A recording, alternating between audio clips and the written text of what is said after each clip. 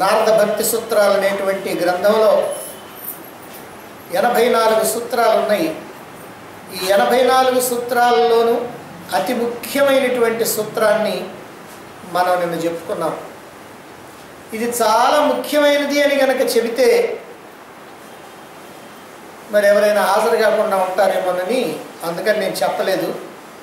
కానీ ఇది నారద మహర్షి నారద భక్తి సూత్రాలు అనేటువంటి గ్రంథాన్ని వ్రాయటానికి ఒక ప్రోత్సాహాన్ని ఇచ్చినటువంటిది ఈ సూత్రం. అంటే ఆ గోపికల యొక్క భక్తి ఆయనకి ప్రోత్సాహాన్ని ఇచ్చింది అందుకని పరాభక్తి అని అంటే ఎలా ఉంటుందో చెప్పాలంటే ఒక ఎవరినైనా కనుక చూపిస్తే ఇదిగోనండి ఇదిగో వీళ్ళలాగా వీళ్ళ భక్తిలాగా ఉంటుంది అని అంటే అర్థం చేసుకుంటారేమోనని ఆ గోపికల యొక్క భక్తిని అలా ఉదాహరణగా చూపించడం జరిగింది. అందువల్ల ఈ సూత్రం యథామ్రజ గోపికానాం. ఇది అత్యంత ముఖ్యమైనటువంటి సూత్రం. మన దృష్టిలో కాదు నారద మహర్షి దృష్టిలో కూడా. ఆయన దృష్టిలోనే అది ముఖ్యమైనటువంటిది. మరి పరాభక్తి అని అంటే ఎలా ఉంటుందో ఆ గోపికల యొక్క భక్తిని మనకి ఉదాహరణగా చూపించి ఆ గోపికల యొక్క ఆ శ్రీకృష్ణుని మీద ఉన్నటువంటి ఆ భక్తి పారవస్యాన్ని మన కన్నుల ముందు కట్టడానికి నారద మహర్షి ఆ సూత్రాన్ని రచించడం జరిగింది. అయితే ఈ సూత్రాన్ని మనం తెలుసుకున్న తర్వాత గోపికల యొక్క భక్తిని గురించి తెలుసుకున్న తర్వాత భాగవతంలో శ్రీకృష్ణుని యొక్క లీలలతో కలగలిసిపోయినటువంటి గోపికల యొక్క చరిత్ర మనం తెలుసుకున్న తర్వాత మరి ఈ నారద భక్తి సూత్రాల్లో ఈ సూత్రం ద్వారా గోపికల యొక్క భక్తి ఎలాంటిదో మనం తెలుసుకున్న తర్వాత లోకంలో సాధారణంగా ఒక అభిప్రాయం ఉంది. ఏమిటిదంటే గోపికలు ఆ శ్రీకృష్ణుడిని చేరింది కామంతో కదా. వాళ్ళు భక్తితో కాదు కదా చేరింది. భగవంతుడికి సంబంధించినటువంటి జ్ఞానం వాళ్ళకి ఏమీ లేదు కదా. వాళ్ళు ఏదో పాలు పెరుగు అమ్ముకొని జీవించేటువంటి ఓ సామాన్యులైనటువంటి వాళ్ళు. అలాంటి వాళ్ళు వాళ్ళ గ్రామంలోనే ఈ శ్రీకృష్ణుడు ఉండటం వల్ల ఆయన దివ్యమైనటువంటి మోహన సుందర రూపాన్ని ధరించి ఉండటం వల్ల ఆయన చూస్తూ ఉంటే వాళ్ళల్లో ఒక రకమైనటువంటి ఆకర్షణ కలిగి ఆ ఆకర్షణ కారణంగా అదిగో ఆ శ్రీకృష్ణుడిని అలా వదల్లేక వదల్లేక వదల్లేక ఉన్నారు. కాబట్టి అది భక్తి ఎలా అవుతుంది? అది ఆకర్షణ అవుతుంది కామం అవుతుంది అని అనుకునేటువంటి వాళ్ళు చాలామంది ఉన్నారు. అయితే నిజమేమిటనంటే గోపికలు భగవన్ మహిమ తెలియనటువంటి వాళ్ళు మాత్రం కాదు అని నారద మహర్షి ఈ సూత్రం ద్వారా చెప్పాలనుకుంటున్నాడు. ఇరవై రెండవ సూత్రంలో ఆ ఆ విషయాన్ని స్పష్టం చేస్తున్నాడు. అంటే గోపికలు భగవంతుణ్ణి ఆశ్రయించడానికి కారణం కేవలం ఆయన యొక్క రూప సౌందర్యం మాత్రం కాదు. ఆయన భగవానుడు అనేటువంటి భావన కూడా గోపికల్లో ఉంది. గోపికలకు అలాంటి జ్ఞానం ఉంది. భగవంతుడి యొక్క మహిమ తెలిసినటువంటి వాళ్ళే అనే విషయాన్ని ఈ ఇరవై రెండవ సూత్రంలో నారద మహర్షి తెలియజేయబోతున్నారు. ఆ ఇరవై రెండవ సూత్రం ఏమిటో చూడండి. తత్రాపి న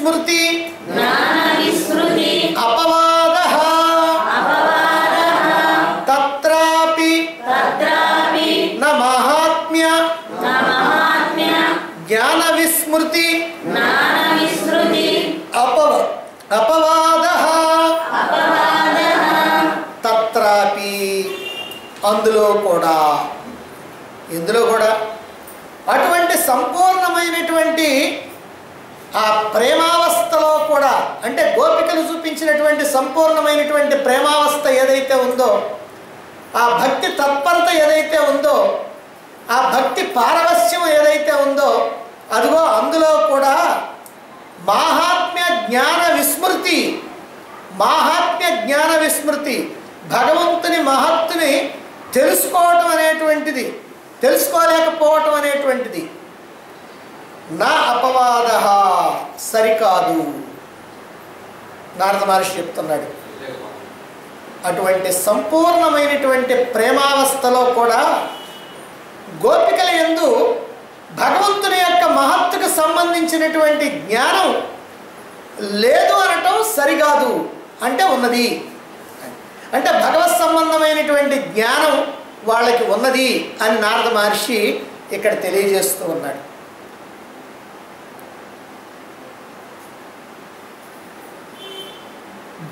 భగవంతుని యొక్క మహాత్యం భగవంతుని యొక్క మహిమ అసలు సాక్షాత్తు శ్రీకృష్ణుడు భగవానుడే. ఆయన శ్రీ మహావిష్ణువు యొక్క అవతారం.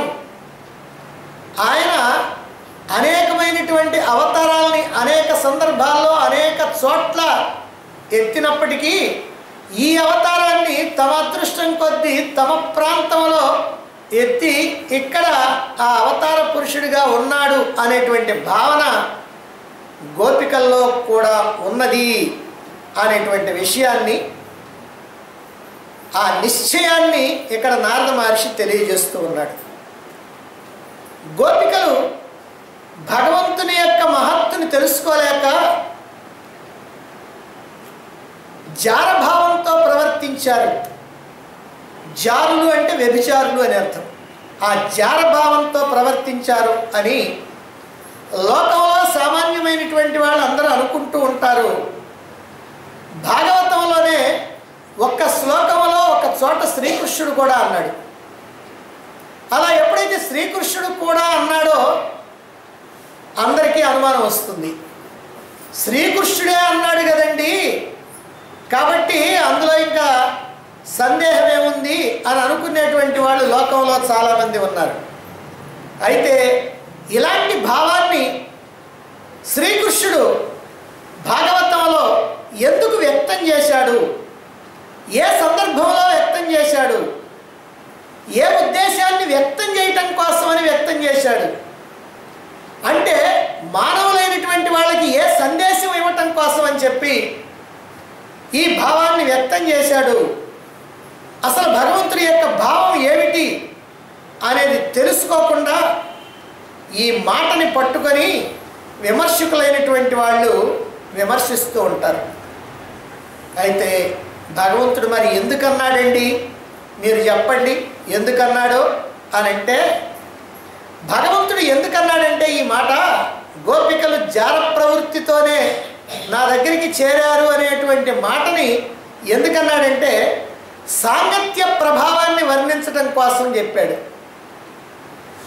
సత్సంగం యొక్క మహిమని తెలియజేయటం కోసం చెప్పాడు. మహాత్ముల యొక్క సన్నిధికి ఎలాంటి వాళ్ళు వచ్చినప్పటికీ కూడా వాళ్ళల్లో ఉన్నటువంటి దోషాలన్నీ కూడా తొలగిపోయి వాళ్ళు పవిత్రులు అవుతారు అనేటువంటి విషయాన్ని చెప్పటం కోసం అదిగో అక్కడ ఈ మాటని అనటం జరిగింది. ఇది అర్థం చేసుకోలేక సామాన్యులైనటువంటి వాళ్ళు అలా అనుకుంటూ ఉంటారు. కానీ సత్యం ఏమిటంటే గోకులంలో ఈయన పుట్టగానే వచ్చేసాడు ఇక్కడికి. సరే ఆ తర్వాత చిన్నగా ఒకటి రెండు సంవత్సరాల వయస్సు అయ్యేంత వరకు అక్కడ ఉన్నాడు. ఆ తర్వాత వ్రేపల్లె. ఆ వ్రేపల్లె నుంచి బృందావనం. ఈ బృందావనం వచ్చినప్పటికీ ఆయన వయస్సు ఐదు సంవత్సరాలు మాత్రమే. ఈ ఐదు సంవత్సరాల వయసు నుంచి పన్నెండు సంవత్సరాల వయసు వరకు అంటే ఏడు సంవత్సరాలు ఆ బృందావనంలో ఉన్నాడు.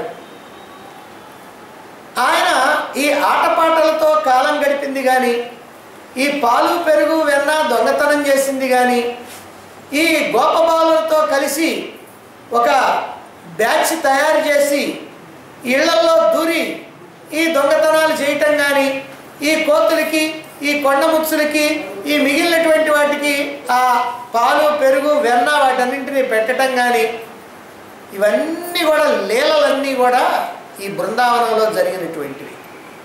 అంటే అప్పుడు శ్రీకృష్ణుడి వయస్సు ఐదు సంవత్సరాల నుంచి ఏడు సంవత్సరాల లోపలే ఉంది. మరి అటువంటి శ్రీకృష్ణుడిని జార ప్రవృత్తితోటి గోపికలు చేరారు అని అంటే అది సమంజసమా? కాదు. మరి అయితే ఎందుకన్నాడండి శ్రీకృష్ణుడు? అనే ఆలోచన రావచ్చు. ఈ విషయాన్ని కూడా మనం నేను చెప్పుకున్నాం. గోపికల్లో చాలామంది చాలా రకాలైనటువంటి వయస్సుల వాళ్ళు ఉన్నారు. కొంతమంది వాత్సల్యంతో తమ బిడ్డలాంటి వాడనే భావనతో చేరారు. కొంతమంది సఖ్యభావంతో చేరారు. కొంతమంది ఈ జారభావంతో చేరినటువంటి వాళ్ళు కూడా ఉంటే ఉండవచ్చు. అంటే వివిధమైనటువంటి భావాలతో గోపికలంతా కూడా వచ్చారు. కారణం ఏమిటంటే అతడి యొక్క సౌందర్యం ఆ శ్రీకృష్ణుడి యొక్క ఆటపాటలు అతడు చేసేటువంటి చిలిపి పనులు అల్లరి పనులు వీటన్నింటినీ చూస్తూ మైమరిచిపోయి పరవశించిపోయి ఈ గోపికలంతా కూడా ఆయన చుట్టూ చేరారు. ఇక ఆయన మురళిని గనక వాయిస్తే ఆ మృదుమధురమైనటువంటి గానాన్ని గనక విన్నట్లయితే గోపికలంతా పరవశించిపోయి వాళ్ళ పనులన్నీ మానేసి ఎక్కడ వాళ్ళు అక్కడ పరుగులు తీసుకుంటా వెళ్ళిపోయేవాళ్ళు.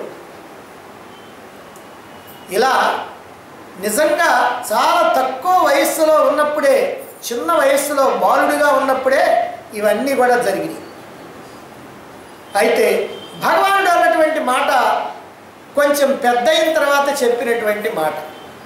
అయితే అప్పుడైనా ఎందుకు చెప్పింది అని అంటే జారులైనా చోరులైనా ఎలాంటి దోషంతో కూడినటువంటి వాళ్ళైనా ఎలాంటి భావాలు కలిగినటువంటి వాళ్ళైనా ఎవరైనా సరే సత్సాంగత్య మహిమతో సత్పురుషుల యొక్క సాంగత్యం కారణంగా మహాత్ముల యొక్క సాంగత్యం కారణంగా మారిపోతారు.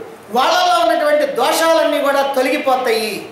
వాళ్ళంతా పవిత్రమైనటువంటి మనస్సు కలిగినటువంటి వాళ్ళు అవుతారు. భగవంతుడి యందు అచంచలమైనటువంటి భక్తి విశ్వాసాలు కలిగినటువంటి వాళ్ళు అవుతారు. అనేటువంటి ఉద్దేశాన్ని తెలియజేయటం కోసమే భగవానుడు ఈ మాటని అక్కడ అనటం జరిగింది. ఇక్కడే ఒక లాజిక్ మనం అర్థం చేసుకోవాలి. రెండు పదార్థాలు ఒకదానితో ఒకటి కలిసినప్పుడు దేని యొక్క ప్రభావం అధికంగా ఉంటుందో ఆ ప్రభావమే ఆ మొత్తానికి కూడా ఉంటుంది. రెండు పదార్థాలు ఒకదానితో ఒకటి కలిసిపోయినప్పుడు దేని యొక్క ప్రభావం ఎక్కువగా ఉంటే అలాగనే ఉంటుంది. మీకు అర్థం కావాలంటే పాలు నీళ్ళు ఉన్నాయి. పాలు తెల్లగా ఉంటాయి. నీళ్ళు నల్లగా ఉంటాయి. ఈ పాలు నీళ్ళు రెండు కలిసినాయి అనుకోండి ఎన్నన్నా కలపండి. రెండు కలిపితే ఏమవుతాయి? పాలే అవుతాయి.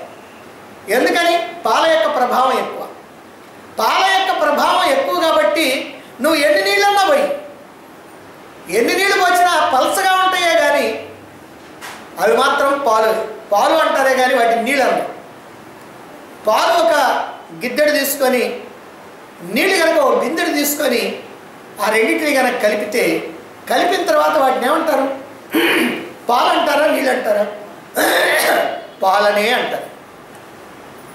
కారణం పాలు నీటి కంటే ఎక్కువ ప్రభావం కలిగినటువంటివి కనుక అదేవిధంగా ఇద్దరు మనుషులు రెండు వేరు వేరు స్వభావాలు కలిగినటువంటి వాళ్ళు.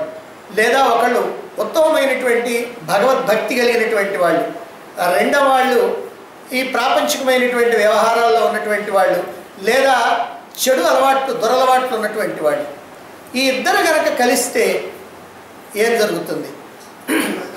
దురలవాట్లు ఉన్నటువంటి వాడి యొక్క ప్రభావం ఎక్కువైతే ఈ భక్తుడు కూడా దురలవాట్లకు లోనవుతాడు. భక్తుడి యొక్క ప్రభావం ఎక్కువగా ఉంటే ఈ దురలవాట్లకు లోనైనటువంటి వాడు క్రమంగా అతడు భక్తుడిగా మారిపోతాడు. ఇది సాంగత్యం యొక్క మహిమ. అంటే ఒక మంచివాడు చెడ్డవాడు. దొరలవాట్లు అంటే పక్కన పెట్టేసి ఓ మంచివాడు చెడ్డవాడు. వాళ్ళిద్దరు కనుక కలిస్తే మంచివాడి ప్రభావం ఎక్కువగా ఉంటే చెడ్డవాడు కూడా మంచివాడు అవుతాడు. చెడ్డవాడి ప్రభావం కనుక ఎక్కువగా ఉంటే మంచివాడు కూడా చెడ్డవాడిగా మారిపోతూ ఉంటాడు. గంగా నదిలో గంగా నదిలో ఉన్నటువంటి నీరు అత్యంత పవిత్రమైనటువంటివి విదేశీయుడు ఒక ఆయన గంగా నదిలో ఉన్నటువంటి నీటిని పరిశోధన చేయటానికి తీసుకున్నాడట. అది ఒక సంవత్సరం పాటు అలాగా ఉన్నప్పటికి కూడా ఆ నీటిలో ఏ రకమైనటువంటి పురుగులు కానీ కల్మషాలు కానీ ఏమీ జారలేదు. అదే మామూలు నీటిలో కనుకైతే నాలుగు రోజులు ఐదు రోజులు ఆరు రోజులు అయ్యేటప్పటికల్లా పురుగులు చేరతాయి దీనికి ఏమిటి ప్రభావం అని అంటే ఆ గంగా నది నీరు అలాంటి పవిత్రమైనటువంటి అయితే ఆ గంగ నీరు గంగోత్రి దగ్గర ప్రారంభమై హిమాలయాల్లో తిరుగుతున్నంత కాలం కూడా అవి పవిత్రంగానే ఉంటాయి. ఆ నీళ్ళు బాగానే ఉంటాయి. కానీ భూమి మీదకి వచ్చిన తర్వాత ఆ ఆ నదిలో అనేకమైనటువంటి కల్మషాలు కలుస్తూ ఉంటాయి. అనేకమైనటువంటి కాలువల యొక్క నీరు కలుస్తూ ఉంటుంది. అయినప్పటికీ కూడా ఆ గంగ యొక్క పవిత్రత ఎక్కడికి పోవటం లేదు. కారణం ఏమిటి? కారణం ఏమిటంటే గంగ యొక్క పవిత్రత ప్రభావం ఎక్కువగా ఉంటుంది కాబట్టి దాని ప్రభావం వల్ల ఈ పోయి దాంట్లో కలిసినటువంటి నీళ్ళు కూడా పవిత్రమైనటువంటి నీళ్ళుగానే మారిపోతూ ఉంటాయి అన్నమాట. అంటే గంగా నదికి తనలో కలిసినటువంటి కాలువల యొక్క నీటిని పవిత్రం చేసేటువంటి శక్తి ఉన్నది అని. గంగా నదికే తనలో కలిసినటువంటి నీటిని పవిత్రం చేసే శక్తి ఉంటే సాక్షాత్తు పరమాత్మకి తనలో కలిసినటువంటి మనస్సుల్లో ఉన్నటువంటి కల్మషాలని తొలగించేటువంటి శక్తి ఉండదా? ఇది మనం జాగ్రత్తగా ఆలోచించాల్సినటువంటి లాజిక్. గంగా నది తనలో కలిసినటువంటి నీటిని పవిత్రం చేస్తుంది కదా మరి పరమాత్మ ఎవరైతే తనలో తమ యొక్క మనస్సుల్ని కలుపుతా ఉన్నారో ఆ మనస్సుల్లో ఉన్నటువంటి కల్మషాలని తొలగించేటువంటి శక్తి పరమాత్మకు ఉండదా? ఆ మాత్రం కూడా భగవంతుడు చేయలేడా అనేటువంటిదే మనం ఆలోచించాలి. గోపికలు మొట్టమొదట భగవంతుడిని చేరినప్పుడు ఆయన భగవంతుడు అనేటువంటి భావనతో చేరల. వేర్వేరు అభిప్రాయాలతో చేరారు. ఏదో చుట్టానికి ముచ్చటగా ఉన్నాడు చిన్నపిల్లవాడు పసివాడు అనే భావనతోనూ అందంగా ఉన్నాడు అనేటువంటి భావనతోనూ ఇలా రకరకాలైనటువంటి భావాలతోనే చేరటం జరిగింది. అప్పుడు ఆయన భగవంతుడు అనేటువంటి జ్ఞానం లేకపోవచ్చు లేకపోవచ్చు కాదు లేదు కూడా నిజమే. అతడి యొక్క ఆ లోకమోహన దివ్య సౌందర్యాన్ని చూచి మోహించి కామంతో దగ్గరికి చేరినటువంటి వాళ్ళు కూడా గోపికల్లో కొంతమంది ఉండవచ్చు. అలా వచ్చారని అనుకుందాం మనం. దాంట్లో ఏం తప్పులేదు ఏదో ఆకర్షణతో వాళ్ళకి వాళ్ళ కంటికి కనిపించినటువంటి ఏదో ఆకర్షణతో ఆయన సమీపించారు. ప్రారంభంలో అలా సమీపించినప్పటికీ కూడా వాళ్ళు చేరింది ఎవరిని? ఒక సామాన్యమైనటువంటి మానవుడినే కాదు సాక్షాత్తు పరమాత్మని చేరారు. ఎందుకనంటే కృష్ణస్తు భగవాన్ స్వయం అన్నారు. శ్రీకృష్ణుడు స్వయంగా భగవానుడు పరమాత్మ అన్నారు. దానికి అనేకమైనటువంటి రుజువులు ఉన్నాయి భగవద్గీతలో ఎక్కడ శ్రీకృష్ణుని యొక్క మాట వచ్చినా శ్రీకృష్ణ ఉవాచ వాసుదేవ ఉవాచ అనకుండా భగవాన్ ఉవాచ అని అంటారు. భగవాన్ ఉవాచ అనటంలో ఉద్దేశం ఏంటంటే భగవానుడు శ్రీకృష్ణుడు భగవానుడే అనే ఉద్దేశంతో. కాబట్టి సాక్షాత్తు పరమాత్మని చేరుకున్నారు వాళ్ళు. ఏ ఉద్దేశంతో అయినా సరే పరమాత్మని చేరుకున్నారు.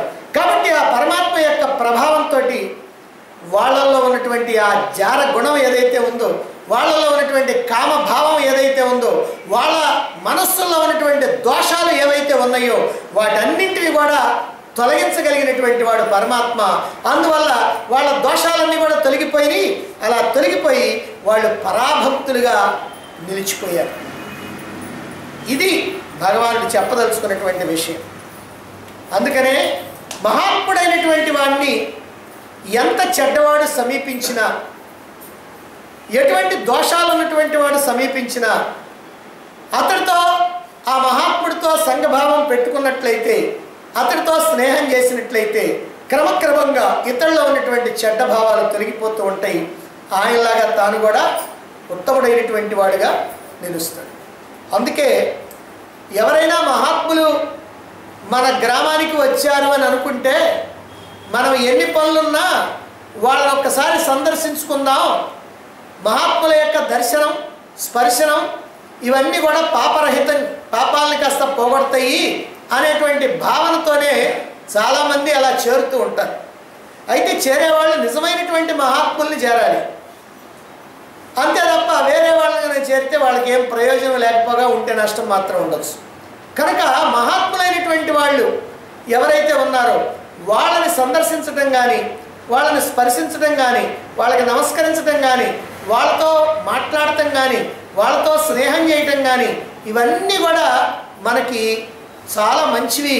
మనల్ని ఉత్తమమైనటువంటి మనస్సుకి మన మనస్సుని తయారు చేయడానికి ఉపయోగపడతాయి. మన మనస్సులో ఉన్నటువంటి దోషాలన్నింటినీ కూడా తొలగించడానికి ఇవన్నీ కూడా ఉపయోగపడతాయి. అంతేకాదు ఏ భాగవతంలోనైతే భగవానుడు గోపికల్ని జారభావంతో నా దగ్గరికి చేరారు అని అన్నాడో అదే భాగవతంలో గోపికల్ని అనేక విధాలుగా ప్రశంసించాడు భగవానుడు. ఈ విషయాన్ని మనం నిన్న కూడా చెప్పుకున్నాం. ఆ గోపికల యొక్క భక్తికి పరవశించిపోయి భగవానుడు మీ రుణాన్ని నేను తీర్చుకోలేను. మీకు ఏమిచ్చి నేను రుణాన్ని తీర్చుకుంటాను? కాబట్టి నా రుణాన్ని మీరే ఉదార స్వభావంతో తీర్చాలి. నన్ను ఈ రుణభారం నుంచి విముక్తుని చేయాలి అని అడిగాడు. అంటే దీని ఉద్దేశం ఏమిటి? ఏ స్థాయిలో గోపికల యొక్క భక్తి ఉన్నదని భగవానుడు స్వయంగా విశ్వసిస్తున్నాడు? ఇదే మనం గ్రహించవలసినటువంటి విషయం. ఇలా అనేక సందర్భాల్లో గోపికల్ని ప్రశంసించాడు భగవానుడు. అలాగే గోపికలు కూడా శ్రీకృష్ణుడిని మానవమాత్రుడిగా భావించలేదు. ఆయన్ని పరబ్రహ్మ భావనతోనే చూశారు. పరమాత్మ అనేటువంటి భావనతోనే చూశారు. భగవంతుడు అనేటువంటి భావనతోనే చూశారు అని చెప్పేటువంటి శ్లోకాలు ఎన్నో ఉన్నాయి భాగవతంలో. శ్రీకృష్ణుడు బృందావనంలో యమునా తీరంలో గోపికలతో గోప బాలులతో గోవత్సాలతో అనేకమైనటువంటి రోజులు సహచర్యం చేశాడు. స్నేహం చేశాడు.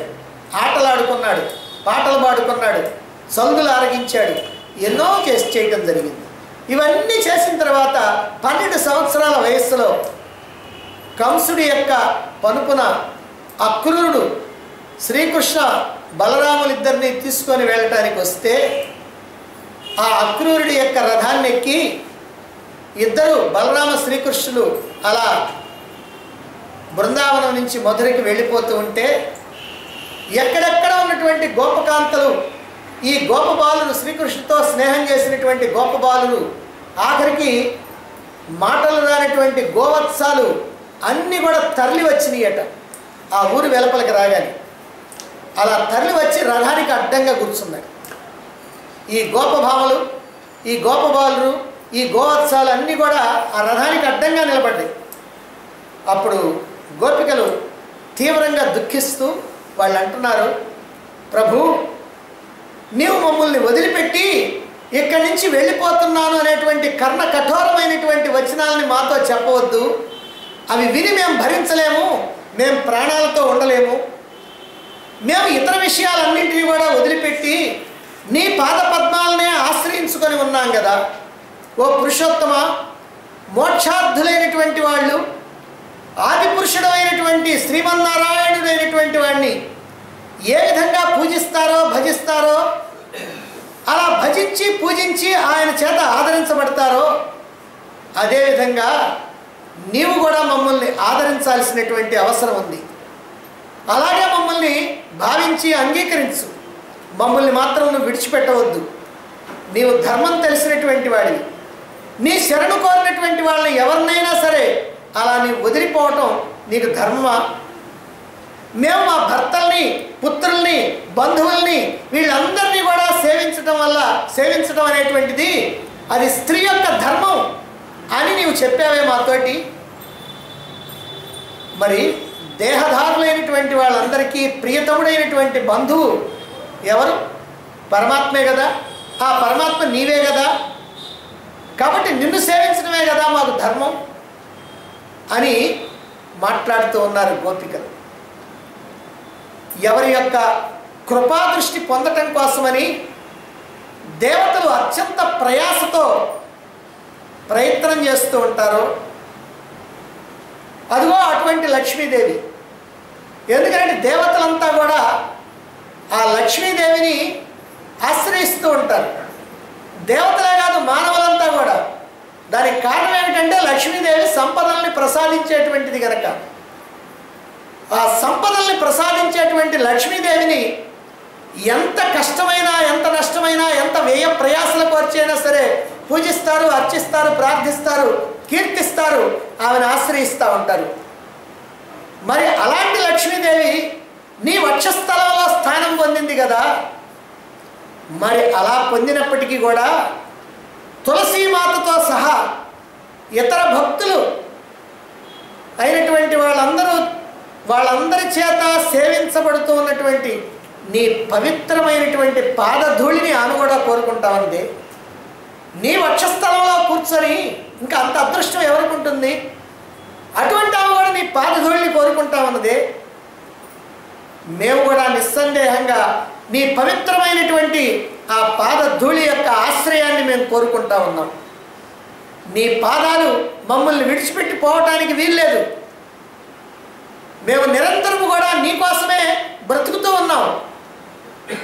మేము మా ఇళ్ళు వాకిళ్ళు వదిలిపెట్టేసి మా భర్తల్ని బంధువుల్ని మిత్రుల్ని అందరినీ వదిలేసి అన్ని పనులు వదిలేసి నీవే మా సర్వస్వం అనుకొని నీకోసం ఇలా బాధపడుతూ ఉన్నామే.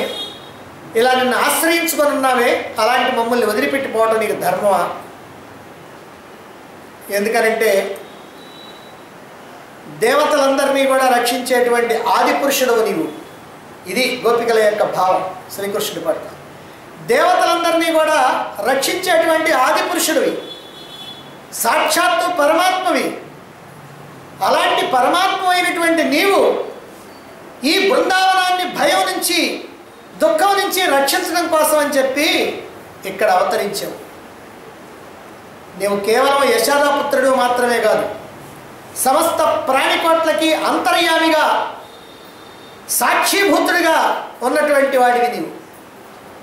అటువంటి నిన్ను బ్రహ్మదేవుడు ప్రార్థించబట్టి ఈ సంపూర్ణమైనటువంటి జగత్తును రక్షించడం కోసం ఈ లోకంలో నీవు అవతరించడం జరిగింది అని గోపికలు అప్పుడు ప్రార్థించారు. ఇదంతా కూడా భాగవతంలో ఉన్నటువంటి విషయమే. మరి గోపికలు ప్రార్థించారని అంటే అప్పుడు గోపికల యొక్క దృష్టిలో శ్రీకృష్ణుడు సాక్షాత్తు భగవంతుడు పరమాత్మ అనేటువంటి భావన ఉన్నదా లేదా అనేది మనం ఆలోచించాలి. కాబట్టి దీన్ని బట్టి గోపికలకి భగవంతుడి యొక్క మహిమ ఏమిటో తెలుసు. శ్రీకృష్ణుడు సాక్షాత్తు భగవంతుడే అనేటువంటిది విషయం తెలుసు.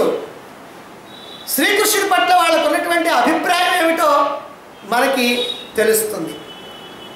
శ్రీకృష్ణుడిని మొట్టమొదట్లో ఏ రకమైనటువంటి భావనతో ఆశ్రయించినప్పటికీ కూడా ఆయన్ని ప్రేమతో దగ్గరికి చేరిన ఆయన్ని ప్రేమించిన ఆయన యొక్క సాంగత్యం కారణంగా వాళ్ళ మనస్సుల్లో ఉన్నటువంటి దోషాలన్నీ కూడా పూర్తిగా తొలగిపోయి అలా తొలగిపోయి శ్రీకృష్ణుడి యొక్క యథార్థమైనటువంటి తత్వాన్ని ఆ భగవత్ తత్వాన్ని ఆ భగవంతుడి యొక్క మహిమని ఆయన యొక్క స్వరూప స్వభావాన్ని ఆయన యొక్క ప్రభావాన్ని చక్కగా తెలుసుకున్నటువంటి వాళ్ళు ఈ గోపికలు. కాబట్టే సంపూర్ణమైనటువంటి జ్ఞానం వాళ్ళల్లో ఉన్నది అనేటువంటి విషయం మనకి తెలుస్తుంది. భక్తి అనేటువంటిది ఏమిటనంటే అది పుష్పం. జ్ఞానం అనేటువంటిది ఫలం. భక్తి అనేటువంటి పుష్పం జ్ఞానం అనేటువంటి ఫలంగా మారుతుంది. ఎవరిలో అయితే ఆ భగవంతుడి పట్ల అనన్యమైనటువంటి భక్తి ఉందో ఆ భగవంతుడి పట్ల రెండవ దాని మీద దేని మీద లేకుండా ఉన్నటువంటి దేని మీద మనస్సు పోకుండా ఉన్నటువంటి భక్తి అనన్యమైనటువంటి భక్తి ఉందో అటువంటి భక్తి కలిగినటువంటి వాళ్ళకి జ్ఞానం అనేటువంటిది వాళ్ళల్లో కలుగుతుంది. అని దీన్ని బట్టి మనం అర్థం చేసుకోవచ్చు. గోపికల యొక్క చరిత్రను బట్టి. అందువల్ల గోపికలు భగవంతుడి యొక్క మహిమని తెలుసుకొని ఉన్నటువంటి భక్తులే భగవంతుడి యొక్క మహిమని తెలియనటువంటి భక్తులు మాత్రం కాదు అని మనకి ఈ సూత్రం ద్వారా నారద మహర్షి తెలియజేస్తూ ఉన్నాడు. అయితే భగవంతుని యొక్క మహిమని తెలియకుండానే ఉన్నటువంటి భక్తి ఎలాంటిది అనే విషయాన్ని ఇక్కడ నారదుడు తర్వాత సూత్రంలో తెలియజేయబోతున్నాడు. అంటే ఈయన సాక్షాత్తు భగవంతుడు. ఆ భగవంతుడైనటువంటి వాడు మనకి ఎంతో మేలు చేస్తున్నటువంటి వాడు. ఆ భగవంతుడి కారణంగా నేను ఎంతో ఆనందాన్ని పొందుతున్నాను. ఆ భగవంతుడి కారణంగా నేను హాయిగా జీవిస్తున్నాను అని ఆ భగవంతుడి యొక్క మహిమ తెలియకుండానే నేను భక్తి కలిగి ఉన్నానంటే ఆ భక్తి ఎట్లాంటిది అని అంటే దాన్ని చెప్తున్నాడు ఇక్కడ నారదుడు. అదేమిటో చూడండి ఇరవై మూడో సూత్రం.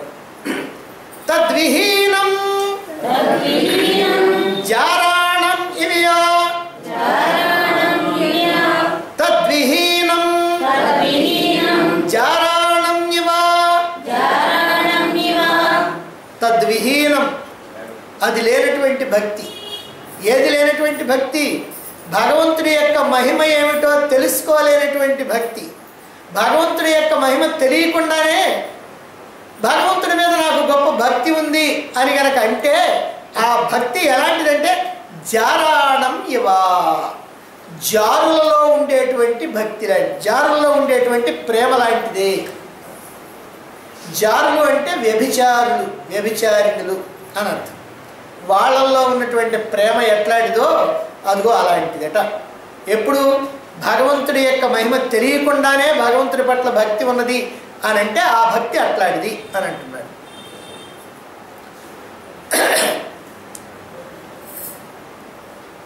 గోపికల యొక్క భక్తి లేదా వాళ్ళ యొక్క పరమ ప్రేమ. ఎందుకంటే పరాభక్తి అని అంటే పరమ ప్రేమ స్వరూపం అని అన్నారు కాబట్టి ఆ పరమ ప్రేమ ఎలాంటిదో మనం ఇంతవరకు రెండు సూత్రాల్లో మనం తెలుసుకున్నాం. ఇరవై ఒకటి ఇరవై రెండు సూత్రాల్లో తెలుసుకున్నాం. వాళ్ళది సామాన్యమైనటువంటి భక్తి కాదు వాళ్ళది పరాభక్తియే. గోపికలది పరాభక్తియే. తమతో పాటుగా ఆటపాటల్లో పాల్గొంటూ అల్లరి పనులు చేస్తున్నటువంటి ఈ బుడతడు సామాన్యమైనటువంటి మానవ మాత్రుడు కాదు. గోపికల్లో మనసులో ఉన్నటువంటి భావం ఏమిటంటే ఇదిగో ఇది. మనతో పాటు ఆడిపాడుతూ ఉన్నాడు. అయినప్పటికీ కూడా ఈ బుడతడు సామాన్యుడు కాదు ఈయన మా మానవ మాత్రుడు కాదు ఈయన సాక్షాత్ పరమాత్మ అనేటువంటి భావన గోపికల్లో ఉంది. సాధారణంగా ఎప్పుడు కూడా దూరంగా ఉన్నటువంటి వాళ్ళ మీద కొంత భక్తి ఉండటం సహజమే కానీ దగ్గరగా కనుక ఉన్నట్లయితే వాళ్ళ విలువ తెలియదు ఎవరైతే దగ్గరగా ఉంటారో వాళ్ళకి అంత విలువ ఉండదు. దూరంగా ఉన్నటువంటి వాళ్ళు కనుకైతే బాగా విలువ ఉంటుంది. ఈ విషయం మనకి బాగా స్పష్టంగానే తెలుసు. మరి గోపికలకి వాళ్ళతో పాటుగానే వాళ్ళ ఇళ్ళలోనే తిరుగుతూ ఉన్నాడు. వాళ్ళ ఇళ్ళలోనే దొంగతనం చేస్తూ ఉన్నాడు. పాలు పెరుగు దొంగతనం చేస్తూ ఉన్నాడు. దొంగతనం చేయటం అనేది తప్పని సంగతి తెలుసు అందరికీ. మరి అలాంటి దొంగతనం చేసేటువంటి ఒక బాలుడు ఆయన మానవ మాత్రుడు కాదు సాక్షాత్ పరమాత్మ అనేటువంటి భావన గోపికల్లో ఉన్నది అని అంటే ఆ గోపికల యొక్క భక్తి ఎలాంటిదో మనం అర్థం చేసుకోవాలి. అందుకే ఇతడు సాక్షాత్తు భగవానుడే. ఈ మొత్తం లోకాల్ని సృష్టించేటువంటి వాడు పాలించేటువంటి వాడు అంటే పోషించేటువంటి వాడు లయం చేసేటువంటి వాడు అయినటువంటి పరమాత్మే ఇతడు. ఇతడు అంతటా ఉండేవాడు అన్నింటా ఉండేవాడు అందరిలో ఉండేవాడు. అందరికీ అన్నీ సమకూర్చేవాడు. ఎవరెవరికి ఈ లోకంలో ఏమేమి కావాలన్నో వాటన్నింటినీ ఇచ్చేవాడు. గాలి కానీ వెలుతురు కానీ ప్రాణం కానీ ఆహారం కానీ నీరు కానీ వెలుతురు కానీ అన్నీ కూడా సర్వము సమ ఇచ్చేటువంటి వాడు పరమాత్మ ఈయన. అంతేకాదు వాళ్ళ వాళ్ళ యొక్క కర్మల్ని బట్టి వాళ్ళు వాళ్ళు చేసుకున్నటువంటి పుణ్య పాప కర్మల్ని బట్టి వాళ్ళకి ఫలితాలను అందించేటువంటి కర్మఫల ప్రదాత భగవానుడు. అటువంటి భగవానుడు వ్యక్త అవ్యక్త స్వరూపుడు కాబట్టి అంటే వ్యక్తము అవుతాడు అవ్యక్తంగానూ ఉంటాడు కాబట్టి ఇదిగో ఇప్పుడు మా కోసమని మా అదృష్టం కొద్దీ ఈ బృందావనంలో ఇలా ఈ చిన్న బాలుడిగా వ్యక్తమయ్యాడు. మా యొక్క పూర్వజన్మ సుకృతం కారణంగా మానవ దేహాన్ని ధరించి మా మధ్య తిరుగుతూ ఉన్నాడు. ఇది గోపికల యొక్క అభిప్రాయం భగవానుడి పట్ల. అందరికీ మొదట్లో ఇదే అభిప్రాయం ఉందని మనం అనుకోవాల్సినటువంటి పల్లె. వేరు వేరు అభిప్రాయాలు ఉండొచ్చు. వేరు వేరు అభిప్రాయాలతోటే చేరి ఉండొచ్చు. అయినప్పటికీ కూడా వాళ్ళ యొక్క మనస్సులు పరమాత్మలో ఎప్పుడైతే నిలిచిపోయినాయో ఆ గోపికల యొక్క మనస్సులన్నీ పరమాత్మలో ఎప్పుడైతే నిలిచి పరవశించిపోతూ ఉన్నాయో అప్పుడు వాళ్ళకి జ్ఞానం ప్రాప్తించింది. ఈ విషయాన్ని ఇంతకుముందే మనం చెప్పుకున్నాం. ఎవరిలో అయితే అనన్యమైనటువంటి భక్తి ఉంటుందో వాళ్ళలో జ్ఞానం కలుగుతుంది. ఆ జ్ఞానాన్ని భగవంతుడే కలిగిస్తాడు. దదామి బుద్ధియోగం తం ఏనమా ఉపయాంతితే అదిగో అటువంటి వాళ్ళకి ఎవరైతే అనన్యమైనటువంటి భక్తులు నన్ను సేవిస్తుంటారో వాళ్ళకి కావాల్సినటువంటి జ్ఞానాన్ని నేను అందిస్తూ ఉంటాను అన్నాడు. కనుక పరమాత్మ యొక్క మహిమ ఏమిటో స్పష్టంగా తెలిసిపోయింది. ఆయన యొక్క మహత్తు తెలిసిన తర్వాత ఇక గోపికల యొక్క భక్తి పరాకాష్ఠను అందుకుంది. అంతకుముందు ఏ రకమైనటువంటి అభిప్రాయాలతో ఉన్నా ఈయన సాక్షాత్తు భగవానుడే అని తెలిసిన తర్వాత గొప్ప మహత్తు కలిగినటువంటి వాడని తెలిసిన తర్వాత ఈ సృష్టి స్థితి లయాలకి కారకుడైనటువంటి వాడని తెలిసిన తర్వాత ఇప్పుడు వాళ్ళందరి యొక్క భక్తి ఎలా ఉందంటే ఏకాగ్రమైపోయి ఆ పరమాత్మ చుట్టూ అట్లా లయించి ఆ పరమాత్మలో లయమైపోతా ఉంది. ఆ పరమాత్మలోనే వాళ్ళ యొక్క మనస్సులన్నీ కూడా అలా సమర్పించేశారు. ఆయన యొక్క పాద పద్మాల వద్ద వాళ్ళ యొక్క జీవితాలన్నింటినీ కూడా సమర్పించేశారు. అందువల్ల మరింత ఏకాగ్రమైపోయింది అప్పుడు. ఎందుకంటే భగవంతుడి యొక్క మహిమ ఏమిటో తెలిసింది కాబట్టి ఆయన సాక్షాత్తు భగవంతుడు తెలిసింది కాబట్టి. ఇది గోపికల యొక్క భక్తి యొక్క స్వరూపం. ఇది నిజమైనటువంటి భక్తి. ఇదే పరాభక్తి. అయితే పరమాత్మ యొక్క మహిమ తెలియకుండా ఆయన యొక్క ప్రభావం తెలియకుండా భగవంతుడి మీద కనుక భక్తిని కనుక చూపిస్తే ఆ భక్తి ఎలాంటిది అని అంటే జారినలకు విటపురుషులపై ఉండేటువంటి ప్రేమ లాంటిదే అని అంటున్నాడు ఇక్కడ నారద మహర్షి. జారిణి అంటే డబ్బు కోసం శరీరాన్ని అమ్ముకునేటువంటి స్త్రీ. ఆమె డబ్బు మీద ప్రేమే కానీ శారీరకమైనటువంటి సుఖము సంతోషము ఆనందము వాటి మీద కాదు. అంతేకాదు తను ఏ యొక్క విట పురుషుడితో కలిసి ఉంటున్నదో ఆ పురుషుడి యొక్క సంతోషం కూడా తనకి అవసరం లేదు. తనకు కావాల్సింది ఏమిటంటే అతను ఇచ్చేటువంటి డబ్బు. అతడి దగ్గర నుంచి నేను ఏమి డబ్బుని పొందగలుగుతాను అనేటువంటిదే ప్రధానం కానీ ఇక రెండవది ఆమెకి ఏమీ అవసరం లేదు. ఆమెకి ఏ పురుషుడైనా ఒక్కటే. అతను ఇచ్చేటువంటి డబ్బు మాత్రమే ప్రధానం. ఇలాంటి ప్రేమలో ఎలాంటి ఆనందము కూడా ఉండదు. ఇంకా చెప్పాలంటే అది నిజంగా ప్రేమే కానే కాదు అసలు. డబ్బు యొక్క ప్రాధాన్యత లేకుండా ఉన్నప్పుడే నిజమైనటువంటి ఆనందం. డబ్బు యొక్క ప్రాధాన్యత ఎప్పుడు లేకుండా ఉంటుంది? ఆ పురుషుడు ఎవరో తెలియాలి. ఆ పురుషుడు తనకు సంబంధించినటువంటి వాడు కావాలి. తన మీద ఎంతో ప్రేమ అభిమానం కలిగినటువంటి వాడు కావాలి. వాళ్ళకి అంతకుముందు ఏదో పరిచయం ఉండాలి. ఆ విధంగా వాళ్ళిద్దరికీ ఓ సంబంధం కనుక ఉన్నట్లయితే ఆ పురుషుడి పట్ల ఆమెకి ఒక ప్రేమ అనేటువంటిది ఉంటుంది. ఆమె పట్ల పురుషుడికి కూడా ఒక ప్రేమ ఉంటుంది. అలా కాకుండా ఏదో ఆకస్మికంగా కలుసుకొని కేవలం డబ్బు కోసం ఆ శారీరకమైనటువంటి సుఖం కొనుక్కుందామని వచ్చినటువంటి వాడికి ఆ శారీరకమైనటువంటి సుఖాన్ని అందిస్తూ ఆ డబ్బు పుచ్చుకున్నప్పుడు నిజంగా అతనికి ఆనందము ఇవ్వటము జరగదు. అతనికి ఆనందం ఇస్తున్నాను ఇవి ఆనందం పొందటం కూడా జరగదు. జరిగేదంతా కూడా కేవలం డబ్బే. అలాగే భగవంతుడి గురించి ఏమాత్రం తెలుసుకోకుండా శాస్త్రాలు ఆయన యొక్క స్వరూప స్వభావాల గురించి మహత్తుని గురించి ఆయన యొక్క ప్రభావాన్ని గురించి ఆయనకి మనతో ఉన్నటువంటి సంబంధం గురించి ఏం చెబుతున్నాయో తెలుసుకోకుండా ఆ భగవంతుని యొక్క ప్రభావాన్ని ఏమాత్రం తెలుసుకోకుండా ఆ భగవంతుని మీద ప్రేమ చూపిద్దాము అని అంటే ఆ భగవంతుని మీద భక్తిని కలిగి ఉందామని అంటే కుదిరేటువంటి పని కానే కాదు. అయినప్పటికీ కూడా నేను భగవంతుని మీద భక్తిని కలిగి ఉన్నాను అని ఎవరైనా కనుక ప్రేమ చూపుతున్నారంటే ఎందుకు ప్రేమను చూపిస్తున్నారు? ఇదే మనం జాగ్రత్తగా ఆలోచించాలి. లోకంలో చాలామంది యొక్క భక్తి ఇదే. ఏంటంటే ఆ భగవంతుడిని కనుక మనం ఆశ్రయిస్తే ఆ భగవంతుడిని కనుక మనం పూజిస్తే ఆ భగవంతుడిని కనుక ఒకసారి మనం కనుక దర్శించుకున్నట్లయితే ఆ భగవంతుడికి కనుక ఏదైనా మొక్కు కనుక మొక్కుకున్నట్లయితే మనకు వచ్చినటువంటి కష్టాలన్నీ తీరిపోతాయి మనకి లేనటువంటివి ఏవైతే ఉన్నాయో ఆ కోరికలన్నీ కూడా తీరుతాయి. ఈ భావనతో మనం దగ్గరికి చేరుతా అంటే ఎవరైతే ఈ రకమైనటువంటి భావనతో దగ్గరికి చేరుతున్నారో అంటే మన కష్టాలు తీరాలని కానీ మన కోరికలు తీరాలని కానీ ఈ రకమైనటువంటి భావాలతో ఎవరైతే దగ్గరికి చేరుతున్నారో అదిగో ఆ జారిని డబ్బు కోసం ఎట్లయితే చేరుతున్నదో వెట పురుషుణ్ణి అదే ప్రకారంగా మనం కూడా మన యొక్క కోరికల కోసం భగవంతుడిని చేరుతున్నాం. అందువల్ల ఈ ప్రేమ ఎలాంటిది భక్తి ఎలాంటిదంటే ఆ జారిని చూపించేటువంటి ప్రేమ లాంటిది అని అంటున్నాడు నారద మహర్షి ఇక్కడ. జారిని ఏం చేస్తున్నది? ఎవరు ఎక్కువ డబ్బిస్తారో వాళ్ళే తనకు కావాలి. ఈ పురుషుడు కాకపోతే ఆ పురుషుడు ఆ పురుషుడు కాకపోతే ఈ పురుషుడు. అంతే. డబ్బు మాత్రమే ప్రధానం. అలాగనే ఈ భక్తిని చూపించేటువంటి వాళ్ళు అంటే భగవంతుడి యొక్క తత్వం యథార్థ తత్వం తెలియకుండా భగవంతుడి యొక్క స్వరూప స్వభావాలు తెలియకుండా భగవంతుడి యొక్క మహిమ తెలియకుండా భగవంతుడిని ఆశ్రయించేటువంటి వాళ్ళు ఎవరైతే ఉన్నారో అటువంటి వాళ్ళు మన కోరికలు తీరటం ప్రధానం. నా కోరికలు తీర్చేది ఈ దేవుడు కనుకైతే ఈ దేవుడు నాకు దేవుడు. ఈ దేవుడి మీద నాకు భక్తి. అందుకని నేను కొబ్బరికాయ కొడతా లేకపోతే నేను పూజ చేస్తా. నా కోరికని తీర్చరా తీసేయి ఈ దేవుడిని తీసేస్తాను ఇంకో దేవుడిని పెట్టుకుంటా. కాబట్టి ఆమె పురుషుల్ని మార్చినట్టుగా వీళ్ళు దేవుళ్ళని మారుస్తూ ఉంటారు.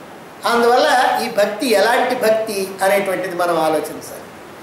కాబట్టి ఆమెకి డబ్బు మీద దృష్టి మనకి ఫలితం మీద దృష్టి.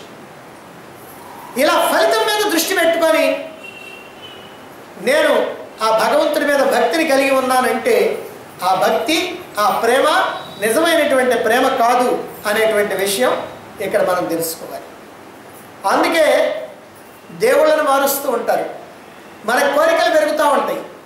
ఈ కోరికలు పెరిగిన కొద్దీ అవి తీరకపోయినట్లయితే మనం దేవుళ్ళని మార్చేస్తూ ఉంటాం. అలా మారుస్తూ ఉంటే దాన్ని వ్యభిచరించే భక్తి అని అంటారు. అందుకనే భగవద్గీతలో అనేకమైనటువంటి సందర్భాల్లో చెప్తారు. అవ్యభిచారిణి భక్తి అని. అవ్యభిచారిణి భక్తి అని అంటారు. అంటే వ్యభిచరించినటువంటి భక్తి. అంటే దాని మీదకి దీని మీదకి దీని మీదకి దాని మీదకి పోవటం కాదు. అసలు ఎవరైనా సరే ఒక్కటే. దేవుడు అనేవాడు ఉన్నది ఒక్కటే. భగవంతుడు ఒక్కడే అనేటువంటి విషయం తెలియనటువంటి వాళ్ళే దేవుడిని మార్చేది.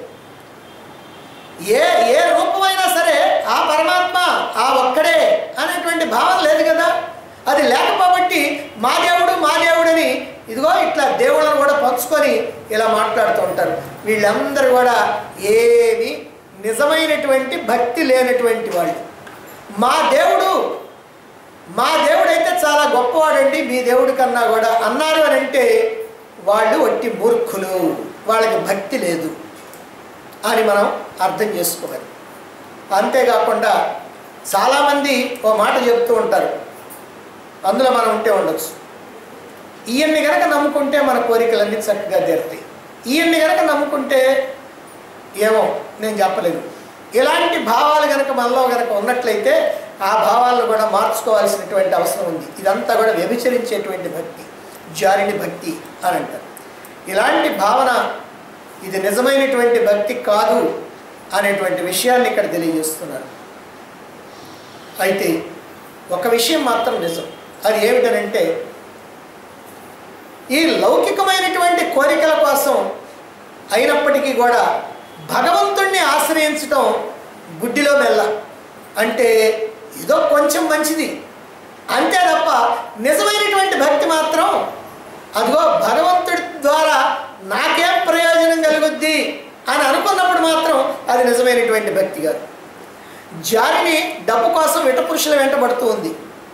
విటపురుషుడైనటువంటి వాడు తన యొక్క ఇంద్రియాల యొక్క సుఖం కోసం అని చెప్పి తన యొక్క శారీరక సుఖం కోసం అని చెప్పి తాత్కాలికమైనటువంటి సుఖం కోసం అని అదిగో ఆ జారినులు వ్యభిచారిణుల వెంటబడుతూ ఉంటాడు.